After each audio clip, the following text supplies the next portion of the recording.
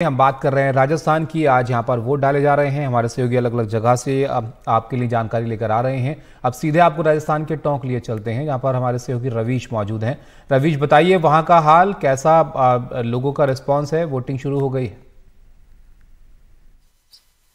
जी voting शुरू हो चुकी है। सात बजे वोटिंग शुरू हो चुकी है और अभी अभी जो है, एक नंबर का जो बूथ है उस पर भाजपा प्रत्याशी जिन्होंने सचिन पायलट के खिलाफ जो चुनाव लड़ा है, चुनाव लड़ रहे हैं, उन्होंने अपने परिवार के साथ पहुंचकर मतदान किया है और अभी वो मीडिया से बात कर रहे हैं। हम उनसे सीधे जो है बात दिखाते हैं कि क्या बोल रहे हैं वो बताऊँ को।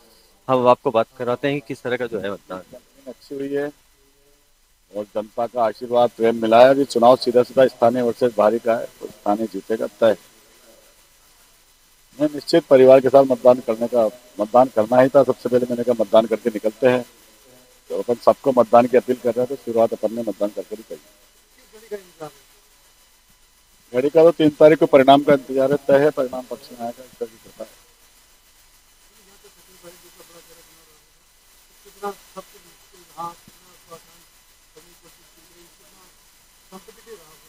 पाँच साल का उनका इतिहास जानती है।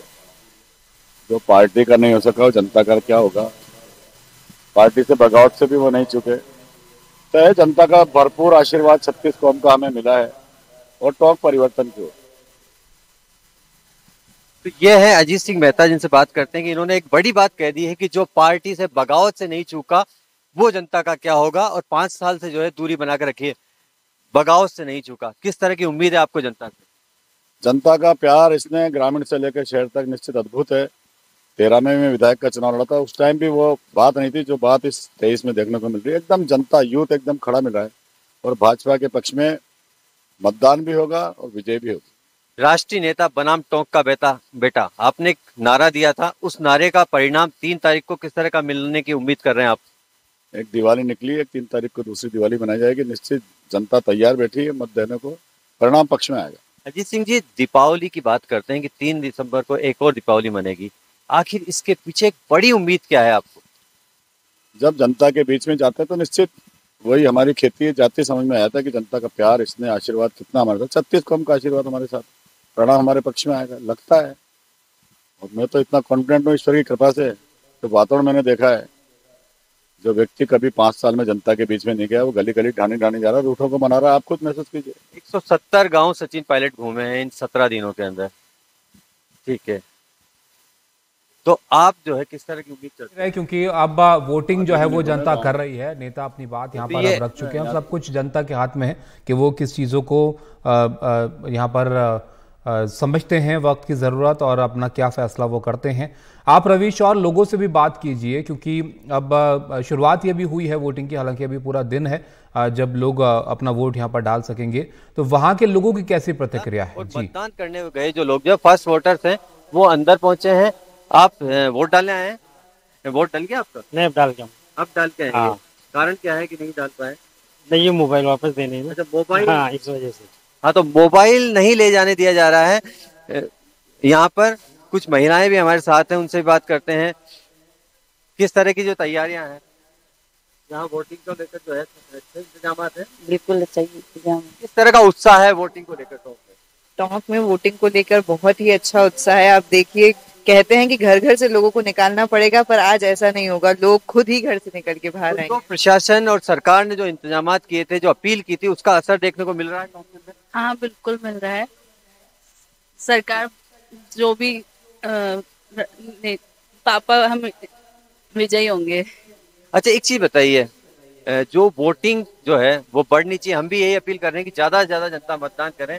तो यहाँ जो इंतज़ाम है उसका असर देखने को मिला है? हाँ बिल्कुल होगा बहुत ज़्यादा से ज़्यादा मतदान होगा यहाँ तो ये टोंक की जनता है वो मतदाता है जो वोटिंग करने पहुँच रहे हैं उनका यही कहना है कि जो है वोटिंग की जो अपील जो प्रशासन ने की थी उसका असर देखने को मिलेगा। वहीं जो सुरक्षा जो इंतज़ाम देख सकते हैं आप जिस तरह से फोर्स लगाया गया है उसको भी लेकर जो है लोग जो है निष्पक्ष रूप से जो है स्वतंत्र रूप से जो है अपने मत का प्रयोग कर सकेंगे। इसके नज़ारे हमें टोंक में वोटिंग शुरू करने के साथ ही देखने को मिल रहे हैं।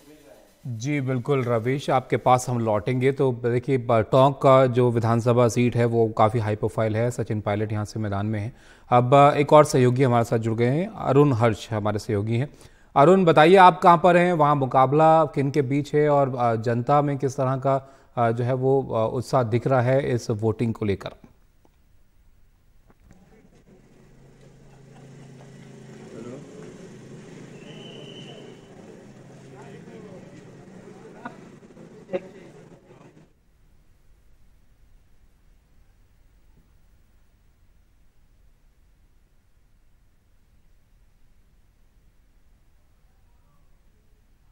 अरुण, तक लग रहा है आवाज़ हमारी ठीक से नहीं पहुँच पा रही है, लेकिन आप देखिए, इंतज़ाम कई सारे किए गए हैं इस बार के चुनाव में, अगर आप देखें क्योंकि राजस्थान की जो वोटिंग है वो आज हो रही है, और इसके लिए एक बड़ा प्रचार अभियान भी यहाँ पर चला। दोनों पार्टियों की तरफ़ से पूरा ज़ोर यहाँ पर लगाया गया।